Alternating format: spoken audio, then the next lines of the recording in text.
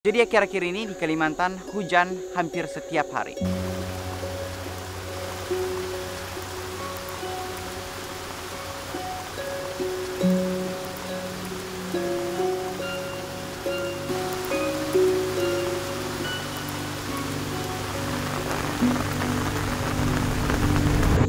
Kalian lihat di belakang aku adalah jembatan kayu akses untuk berangkat ke sungai, tapi sekarang semuanya sudah terendam air. Karena curah hujan yang tinggi, sungai pun meluap dan semuanya banjir.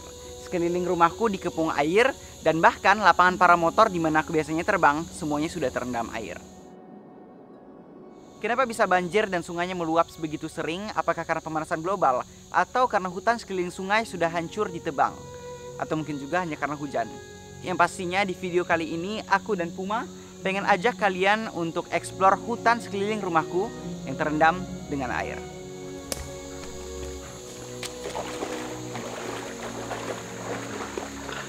Oke, jadi di video kali ini kita akan banyak syuting menggunakan GoPro karena kamera besarku tidak bersahabat dengan air. Uh, dan sekarang kita akan mulai untuk ikutin jembatan kayu ini dan habis itu baru kita explore-explore di dalam sungainya, uh, lihat apa aja yang bisa kita temuin. Tapi sekarang harus jalan hati-hati karena kalau aku salah meleset, meleset jalannya. Nih, nih. Karena ini jembatan, jadi kalau aku meleset langsung pluk jatuh dan airnya sangat dalam. Ya Puma, hati-hati.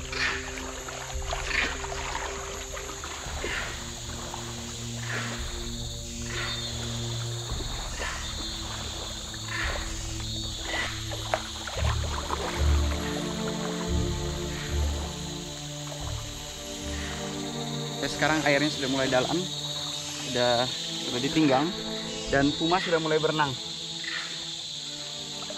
kita akan ekspor terus jalan-jalan coba Puma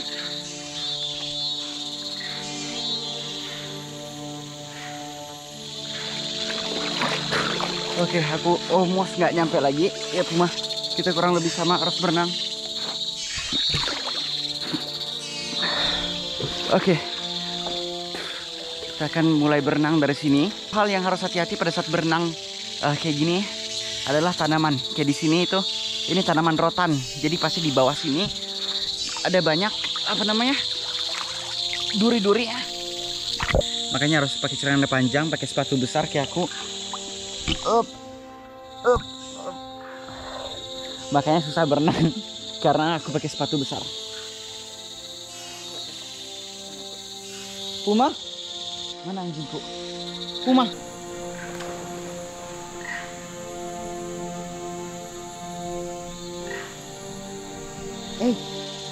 Eh, ya. Ya. Ya. Sabar? Sabar? Sabar? Attends, attends, attends, attends, attends, attends, attends, attends. Ya, c'est bien. Eh, Puma kesusahan karena malah ambil kayu. Oke, okay.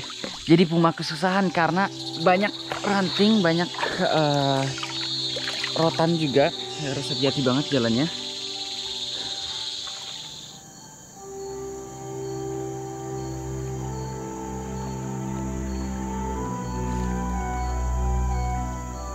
Oke, jadi Puma sudah terpisah dari aku.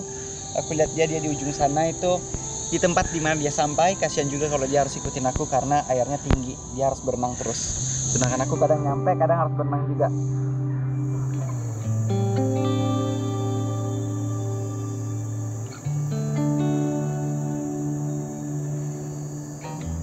Hari ini itu airnya bertahan jadi nggak naik dan nggak turun.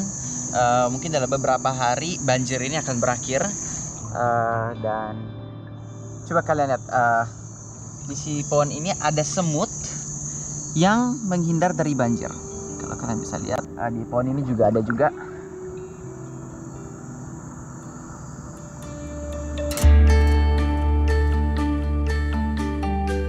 Oke, jadi di pohon ini itu banyak satwa, banyak serangga, ada larva, ada ada laba-laba juga, ada lipan yang uh, bertahan hidup karena mereka seharusnya tinggal di tanah Uh, tapi karena banjir mereka semua coba bertahan hidup di atas pohon ngungsi. Dan kasihan banget ini udah hampir seminggu mereka harus bertahan hidup di pohon ini.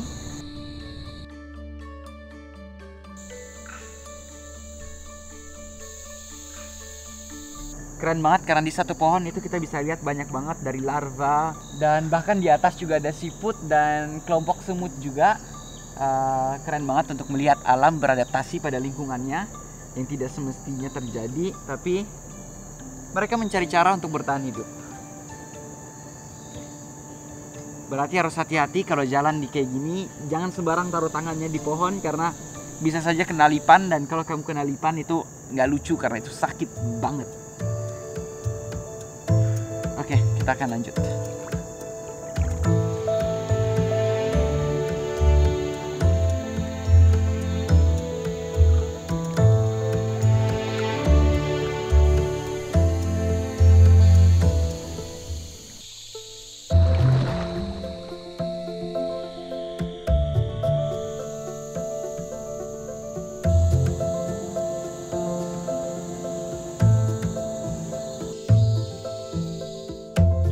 YouTube aku sering banget terima banyak pesan apakah aku tidak takut ular anaconda. Apalagi di hutan dan banjir kayak gini. Jawabannya adalah tidak. Kenapa? Memang betul salah satu film anaconda di syuting di Kalimantan, tapi jenis ular anaconda itu sendiri hanya ada di Amerika Latin. Jadi di Brazil, di Peru, uh, dan di Kalimantan nggak ada anaconda.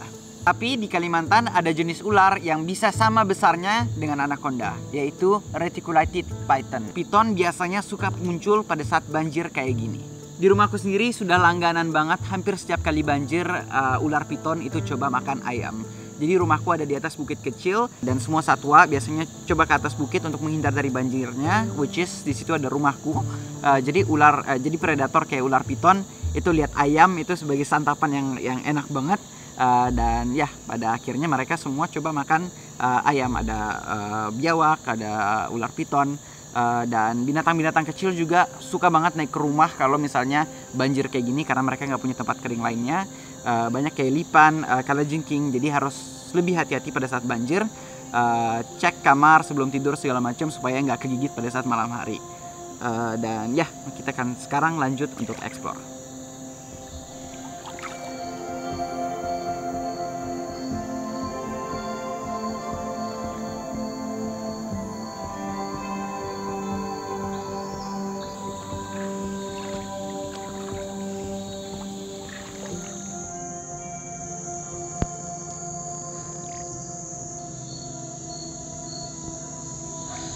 Oke, jadi pada saat banjir kayak gini tentu saja yang orang paling takutkan itu ular.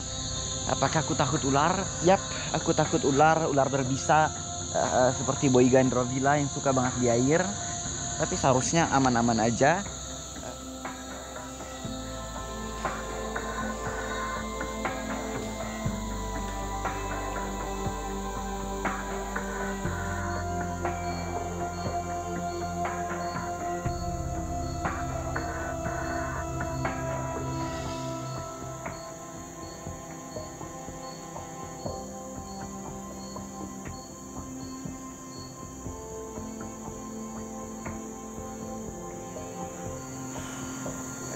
Dalam banget.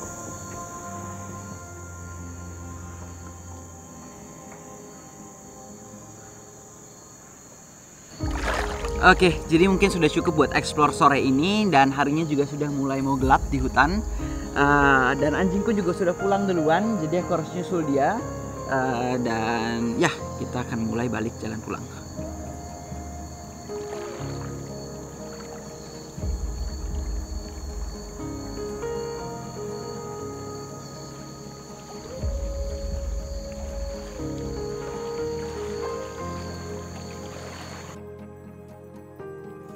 Semuanya, setelah berpetualang sampai rumah, aku selalu pakai MS Glow Energizer Facial Wash untuk menjaga kulit mukaku agar tidak rusak dan kusam saat berpetualang.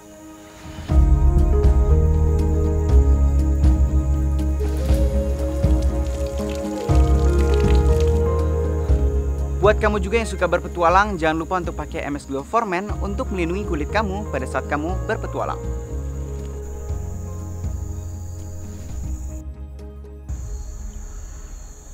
Oke, jadi aku mau jelasin dikit cara aku syuting video ini. Aku pakai kamera besar aku yang tidak tahan air uh, dan di dalam kantong sini ada ada uh, handuk kecil. Jadi tangan aku kan habis nyelup air itu basah. Aku pakai handuk dulu baru bisa atur settingan kamera. Uh, dan aku benar-benar syuting sendiri. Kalian bisa lihat ini tripodnya di bawah air dan uh, beberapa kali tadi kesenggol kakiku. Untung kameranya nggak jatuh. Dan ya beginilah perjuangan bikin video ini